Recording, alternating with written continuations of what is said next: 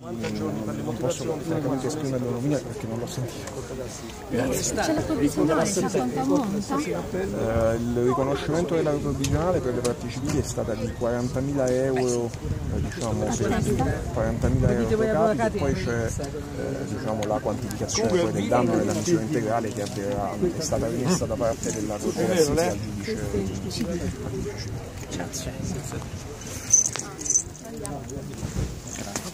Come commenta? Come commenta la sentenza, avvocato?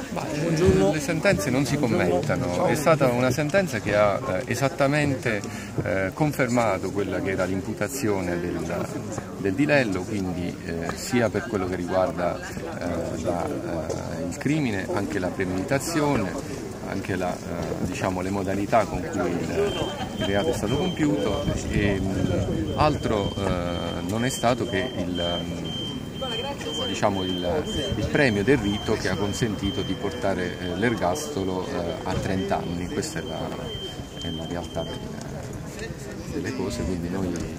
Siete soddisfatti? Ma siamo soddisfatti, noi, no, qui è morto un ragazzo, ci sono dei, stati dei, dei fatti eh, gravissimi che hanno distrutto tre famiglie, non c'è da essere soddisfatti, eh, la famiglia di Elisa si è sempre affidata dall'inizio eh, da non da questa vicenda, da quando era successo quel, eh, quello spiacevole eh, incidente stradale al, al Tribunale e, e, continua ad avere fiducia nelle istituzioni perché è una sentenza importante perché eh, siamo in uno Stato di diritto, quindi eh, non ci si può fare giustizia da sé, ma la giustizia la devono fare i tribunali. Questo ha sempre pensato la famiglia di Elisa e eh, penso che, che, ciò emerga anche dalla, dalla, dal dispositivo, eh, quindi dalla sentenza che è stata letta, dal dispositivo della sentenza che è stata letta oggi.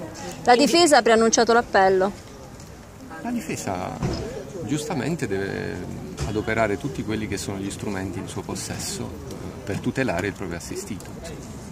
Quindi su questo noi non abbiamo se intende fare l'appello avrà tutto il diritto di poterlo fare e di utilizzare tutti gli strumenti in possesso